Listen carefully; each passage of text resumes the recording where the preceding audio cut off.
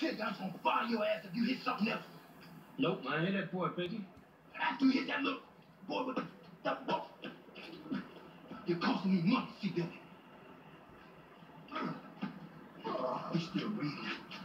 Get your ass back to the car. All right, mother. Let's go.